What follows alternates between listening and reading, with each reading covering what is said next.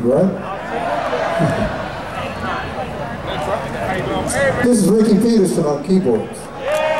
Ricky. That's Jay Williams tearing up the drums. Andre Barrett whipping a hole out the bass.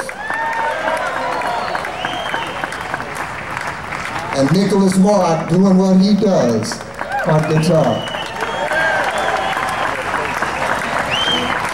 Just don't give a shit. You just do what you want. And hope people like it. Say, well, I like it. Anyway, I'm gonna, I I decided tonight I want to go back and do some of the old stuff. Yeah. Some of which we know, and some of which we are not sure, but we're going to try it anyway. You won't tell too. anybody, right? If we screw it up. Album, wasn't that? I know, we, we have a train wreck. That shit's going to be all over YouTube, right? Look at this, man! Backstreet. Anyway, uh, first tune we played was called Chicago Sound Like This. Uh, second tune was called Straight to the Heart. Uh, those were both written by a good friend of mine named Marcus Miller. Next tune is also is a song that Marcus and I wrote together. This is uh, this is called Run for Cover. Oh yeah, this is old. Yeah, I remember this title.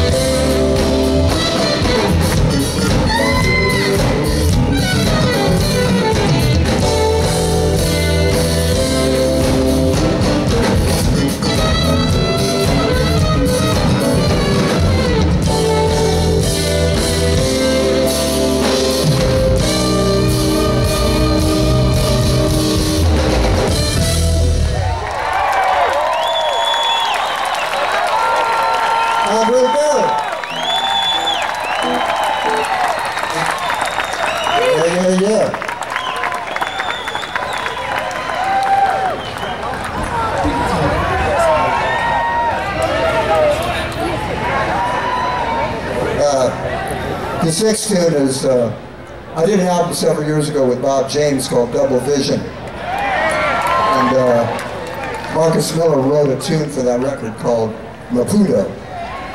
And uh, actually, there's a story behind that, that title. At the time, this was like, what, 30 years ago, or something like that? Marcus was going out with this girl who was from Maputo. And that's what was that beat, right? Mozambique, yeah.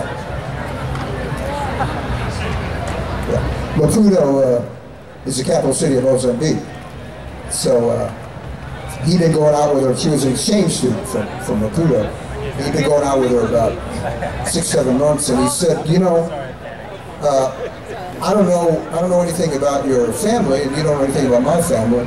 And he said, look, let me, so I'll show you pictures of my family. This is my mother and my father and my brother living out in Jamaica, Queens. And he said, do you have any pictures of your family? And she says, I don't think so. Oh, wait a minute. And she reaches in her wallet and pulls out a piece of currency from Mozambique and say, that's my father. so for about a year after he broke up with her, he kept looking over his shoulder, thinking some shit was going to come down.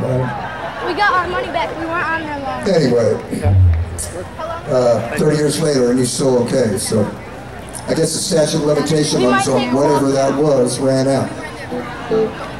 Uh, so anyway, this is a song called Maputo. I'm like almost out of water. They're selling it for a dollar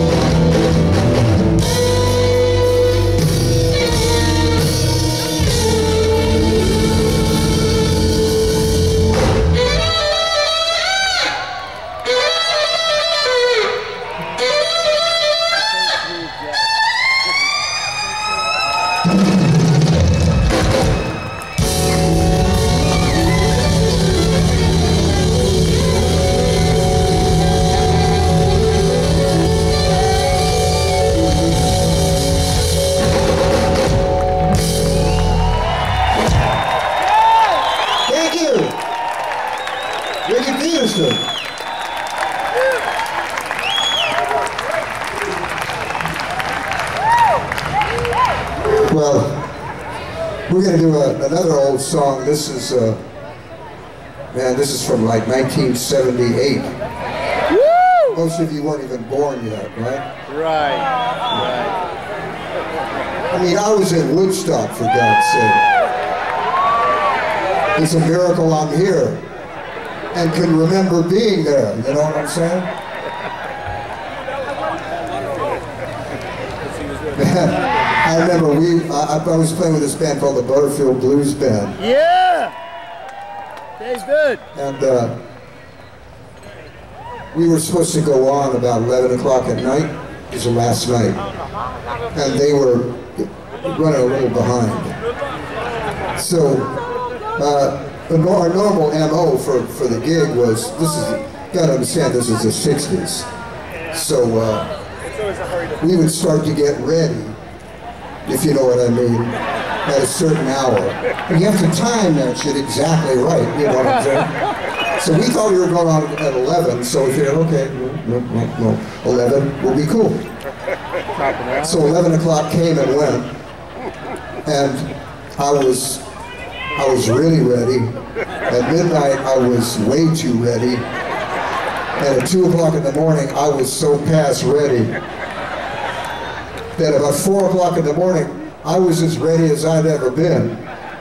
And I didn't think, I said, there's no way I'm going to go on. And the only thing that made me feel even remotely better is the cat that was on right after us was Jimi Hendrix. I've never seen anybody so ready in my life. He looked like he was in a wind tunnel.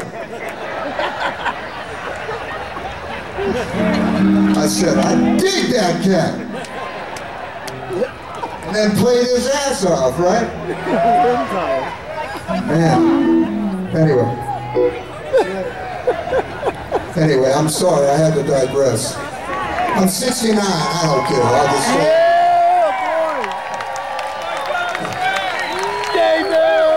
I'm so past the point of being cool, it's not even funny. So anyway, this is a song from the mid-late 70s. You rock! Uh, this is a song I wrote for an ex-girlfriend of mine. And uh, I guess the statute of limitations on bitterness is just about run out.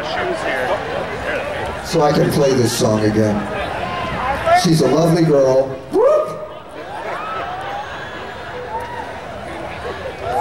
No, she's very sweet.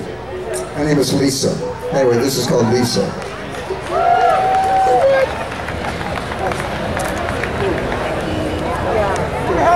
Bora!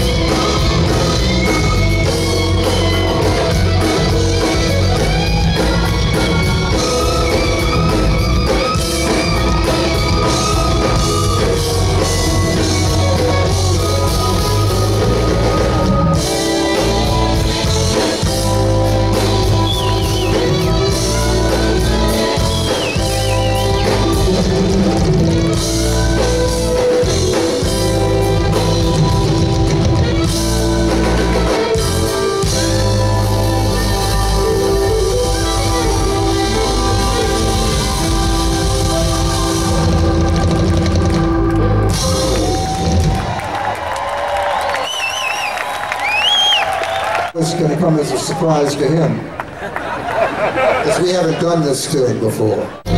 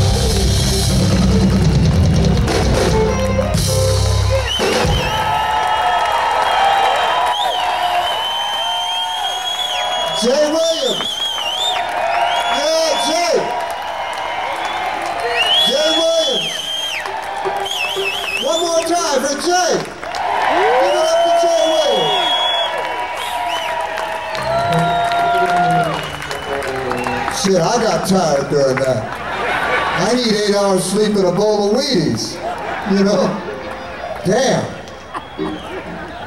All right. David! Where do we go from there? Uh-oh. We got a little technical difficulty.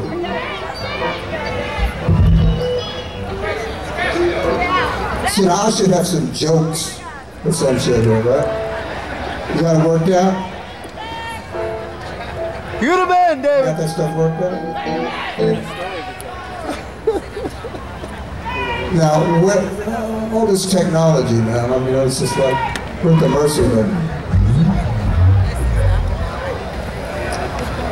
Not yet? Now, see, I, I spent the whole set talking, now I got nothing to say.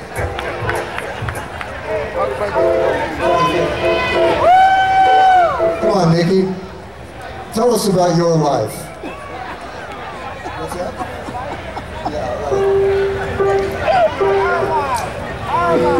Okay.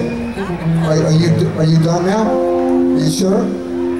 I can continue. Full house. Can you do piano stuff too? Okay. So We're gonna get there. We'll get there. We're gonna do a tune now. This is a song that Marcus and I wrote called Full House.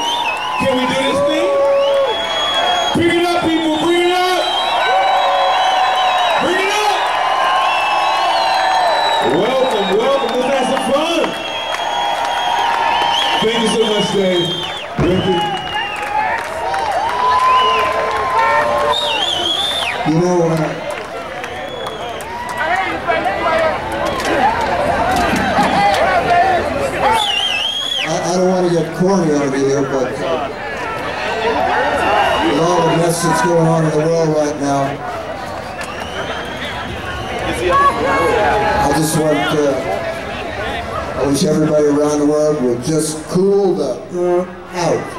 You know what I'm saying? Just like get over yourself. Calm the earth down. Don't fire missiles, don't fire rockets, don't get into arguments. I know I'm just going on the, from the 60s, baby.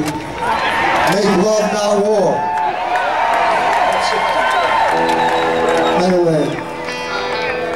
Friend of mine uh, named Michael Sembello wrote this song. And I, I just like to kind of kind of play it now just to hope that it sends out some positive, non-violent vibrations into the world. This is called The Dream.